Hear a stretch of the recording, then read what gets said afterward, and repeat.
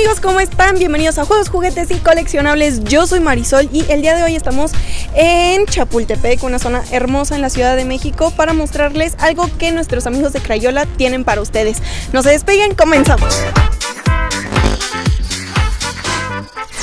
¿Qué tal, amigos? ¿Cómo están? Yo soy Marisol y el día de hoy estamos en un lugar increíble de la Ciudad de México porque se está llevando una actividad sensacional de parte de nuestros amigos de Crayola y por eso estamos con Adrián, encargado de marketing de la marca. Platícanos, Adrián, ¿cómo estás? Hola, ¿qué tal Marisol? Mucho gusto, Adrián Romero de Crayola. Muy bien, muy contento. Este es el día que estamos haciendo la inauguración oficial de esta segunda edición de esta plataforma creativa se llama Sigue Creando, en donde lo que estamos buscando es traer el arte y la creatividad a todas las personas, para que niños de todas las edades, sean de 0 o de 99 años, pues puedan venir, expresarse, eh, dejar volar su imaginación y divertirse con todas eh, las actividades que tiene Crayola para ellos. Ok, y lo padre de este evento es que no solo está dedicado para niños, sino también pueden venir en familia, eh, adultos, hay muchas actividades para ustedes, hay diferentes contenedores que tienen arte de diferentes invitados especiales, cuéntanos un poco de ellos. Pues sí, esta instalación creativa consta de cinco contenedores industriales que están aquí colocados de manera temporal en el bosque de Chapultepec. Fueron intervenidos por artistas em, como Dani Hoyos, eh, Paulo Villagrán, Roots Rices. También tenemos un par de colaboraciones especiales. Está eh, Alejandra Trisco del Faro de Oriente y eh, Tania Martínez del Instituto Nacional de Bellas Artes. Y otra cosa que quisimos hacer para este año, la gente, eh, esta es la segunda edición, el año pasado la verdad los resultados fueron muy buenos y la gente lo que nos decía era, oye yo también quiero participar, nos mandaban sus artes, nos decían, oye, es que yo también dibujo, ¿qué tengo que hacer para estar ahí? Hicimos una búsqueda de nuevos talentos, la verdad es que fue la respuesta fue mucho mayor de lo que nosotros esperábamos. Tuvimos casi 150 personas que fueron a la primera etapa eh, y de ahí, bueno, eh, eh, Roots, Paulo, Dani tuvieron la mm, la ardua labor de escoger a 15 de ellos y estos 15 participaron en una segunda etapa. De ahí escogimos a tres finalistas.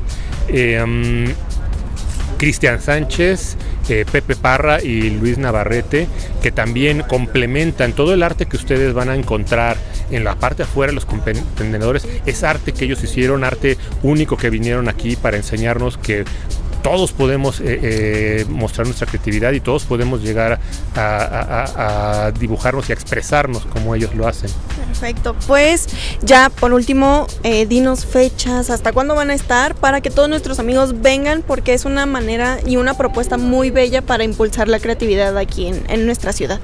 Pues mira, vamos a estar a partir del martes 18 de julio y hasta el domingo 20 de agosto, de martes a domingo, de 11 de la mañana a 5 de la tarde. Es totalmente gratis, eh, es para toda la familia, eh, pueden venir todas las personas, vienen niños pequeños, eh, empiezan a convivir con sus hermanos mayores, con sus papás, con sus abuelitos. Entonces eso, es una parte muy bonita y qué mejor que en el bosque de Chapultepec que hay tantas actividades. Se van a pasar un rato increíble. La gente el año pasado pasaba aquí horas, eh, cada dos eh, horas estamos cambiando las actividades.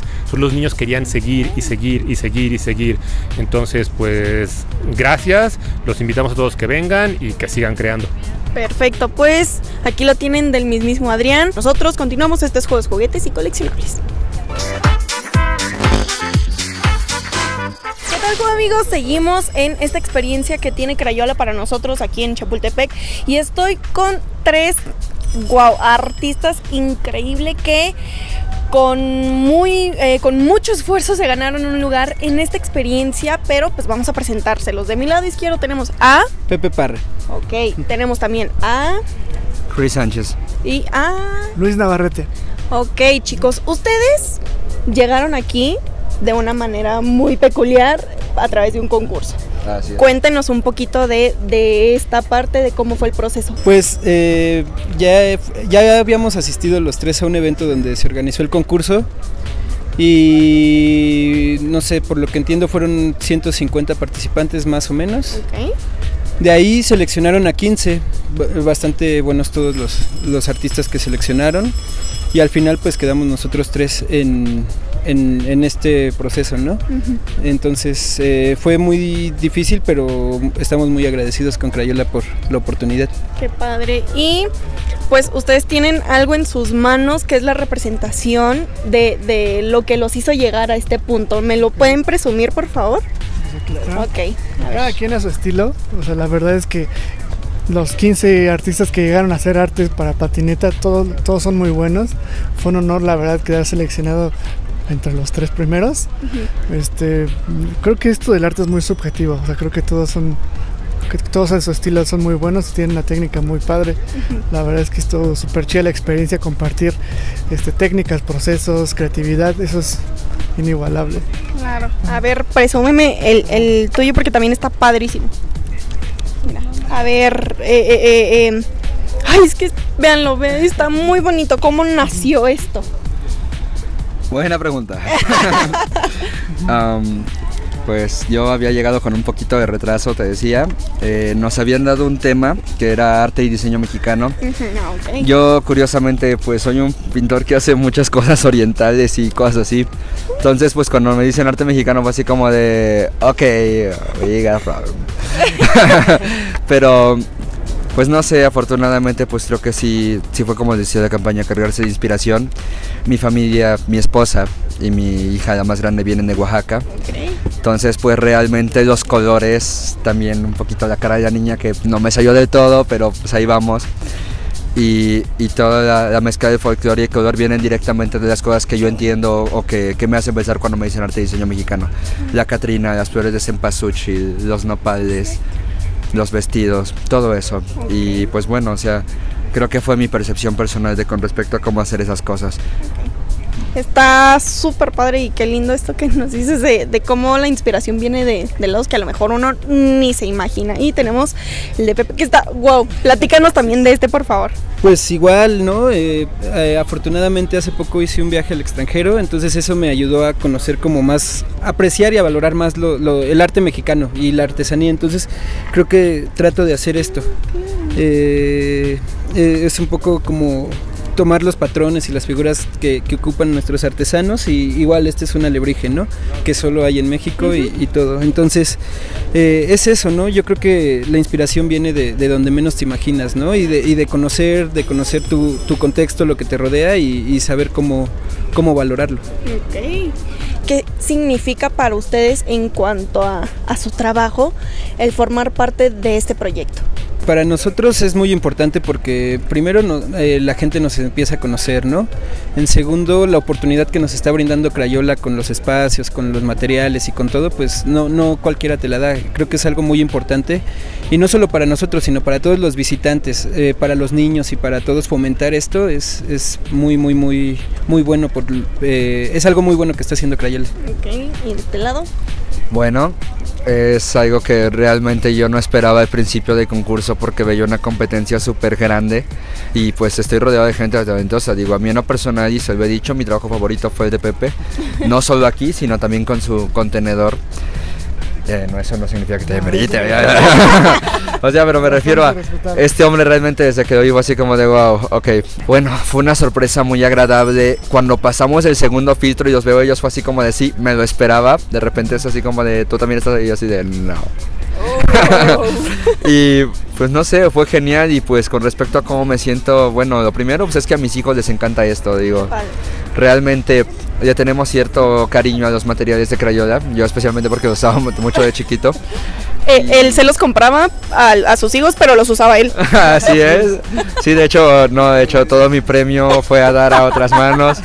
Solo lo pude usar durante el concurso, una pena, pero pero bueno, o sea, es un momento de mi vida en el que pues siento cierta satisfacción, digo, mi pieza está ahí, está puesta, a la gente le gusta, gracias a Dios hay, hay aceptación y pues de verdad estoy contento de pertenecer a este crew, digo, con ellos he estado haciendo muy buenas migas y, y al final no se trata de una cuestión de imagen, creo que lo importante cuando estás trabajando con alguien no solo es que des un mensaje, puedes dar un mensaje y tener ciertas fricciones, pero si este mensaje llega y aparte de la persona con la que, las personas con las que estás haciendo eso tienen una frecuencia similar a la tuya, o es genial, esto de una forma u otra me ha enriquecido y me, me hace exigirme un poco más, tanto como persona como en mi trabajo.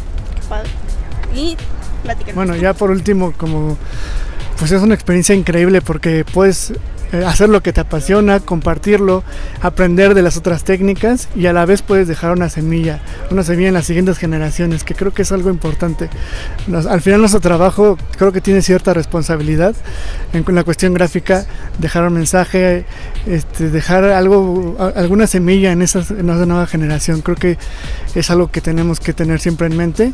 Perfecto, chicos, pues muchísimas felicidades y ustedes eh, son unos representantes sensacionales de, de el arte mexicano y creo que es un honor tenerlos aquí y pues vamos a ver un poquito de los murales. Justamente estamos en uno de Pepe, platícanos un poquito. La idea de esto es como, como fluir, ¿no? Dejarse, dejarse llevar, dejarse eh, ser libre. Eh, pues romper con los estereotipos, romper con los estándares y, y, bueno, ¿cuándo vas a ver una ballena nadando en el espacio entre flores, no? Entonces es, es eso, ¿no? Romper con todo lo, lo tradicional para, para poder crecer y, y soñar, ¿no? Soñando se logran las cosas y, y trato de, de hacer esto en, en este mural. Perfecto, y ahora vamos a brincar a ver otro. Y ya estamos ahora en el mural de, de Luis. Platícanos un poquito de este porque a nosotros nos encantó. Bueno, pues en este mural lo que traté de plasmar o, de mostrar son las cosas que a mí me inspiraban desde niño. Yo dibujo desde, desde niño y como que las cosas que, las primeras cosas que apren- aprendí o que me enseñaron a copiar fueron los dinosaurios. o sea, este tipo de criaturas que tienen figuras medio raras y creo que esas son las- primeras cosas que apren- aprendí a dibujar y que hasta ahora eh, sigo dibujando. O sea, me gusta mucho dibujar monstruos, criaturas como fuera de la naturaleza, ¿no? Más fantasioso. Sí, sí. Y bueno, también le puse un poco de colorido, pues porque creo que desde niño también te gustan los postres y tienes un, un pasatiempo con el que te inspiras más, ¿no? Entonces, bueno, en mi caso fue, fue un, un poco una combinación entre lo kawaii y lo salvaje, ¿no? Entonces, eso es un poco lo que quise plasmar en este mural. Eso, ese tipo de cosas sencillas de la vida, pero que a la vez te motivan para hacer lo que más te gusta, ¿no? Perfecto, pues una remembranza muy bonita tu infancia, ¿no? Sí, sí, sí, muy colorida. Perfecto, y ahora vamos con otro. Y ahora estamos en tu mural, platícanos. Pero nos mostró el bosquejo y estaba impresionante y lo logró plasmar súper bonito aquí. Ah, pues presúmenoslo, por favor. Ok. Está increíble se inspiración une a la mente con la vida. Es una representación y una frase muy, muy padre que... ¿Cómo nació esto? Bueno, originalmente cuando nos piden hacer este proyecto, nos piden que hablemos de quiénes somos o que, qué circunstancias nos, nos hacen ser lo que somos.